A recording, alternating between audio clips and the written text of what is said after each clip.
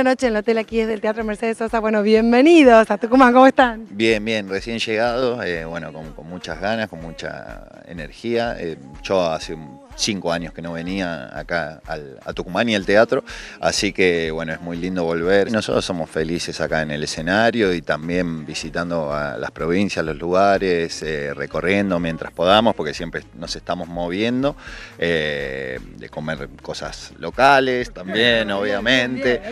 Sí, sí, obviamente se la pasa bien, nos gusta llegar temprano al teatro. Sí, nos gusta no solo para jugar, divertirnos, tomar un fernecito, escuchar música, sino también para corregir alguna cosita, estar atento, porque siempre todos los días son diferentes. Y hay que hacer eso, ¿no? Que cambiar la rutina porque son muchas funciones, muchas horas juntos. Entonces también se trata de eso, de que cambien, se diviertan todos los días.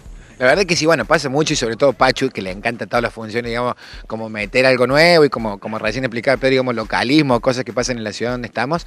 Bueno, con eso vamos jugando mucho arriba del escenario, que, bueno, se lo decía Pedro hace un ratito, digamos, creo que de las grandes virtudes que tiene la comedia y sobre todo las que él arma, eh, esta cosa, digamos, hay mucha conexión abajo del escenario y se traduce arriba del escenario, bueno, y la gente termina disfrutando, no o sea, el guion de la comedia más lo que va sucediendo improvisado, digamos, ¿no? ¿Qué, ¿Qué papel te gusta más, el de productor o el de actor? No, estar en el escenario es lo que más me gusta, sí, arriba o abajo del escenario, pero eh, en el escenario, en el teatro, eh, sí, no, no tiene comparación con nada más. ¿Y vos también sos futbolero como él? Un poquito menos, no, él es futbolero ya como fanático, yo por ahí soy más vago en ese sentido, digamos. Me gusta más que los tercer tiempo, digamos, que el primero y el segundo, el asadito, el escabio, esas cosas, sí. ¿Es verdad que coleccionas camisetas de fútbol? Sí, tengo muchas, más de 500, así que están, están todas colgaditas en perchas. De... Paula debe tener su vestidor, pero vos también tenés lo tuyo. Tengo lo mío, yo vi zapatos, todo, entonces yo armé, ya las tengo bien acomodadas, pero no me ya ocupé todo el lugar. ¿Cómo se hace para viajar y la familia? No puedo dejar de preguntarte con los chicos. porque sos un papá muy presente, ¿no? Y bueno, esa es la parte que cuesta, que se extraña. Eh, trato de no hacer tanto videollamada porque por ahí es peor, sí, es peor, pero eh, con Pau estoy online todo el tiempo.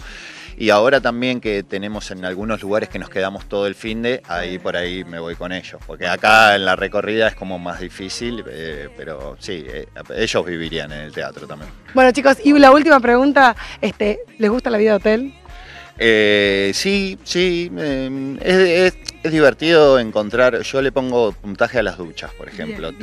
sí, desde que empezó la gira le pongo, mando al grupo los puntajes, me gusta que sea más, que no te monjes cuando ahí. Tengo un par de tips, entonces... Eh, sí, sí, sí, las duchas para mí es fundamental, es más que un colchón, que una almohada, que un coso. La ducha de fuerte, caliente, que no estés ahí. Bueno, acá desde Córdoba sería, que soy Córdoba, eh, un gran saludo para toda la gente de no, no lo sé.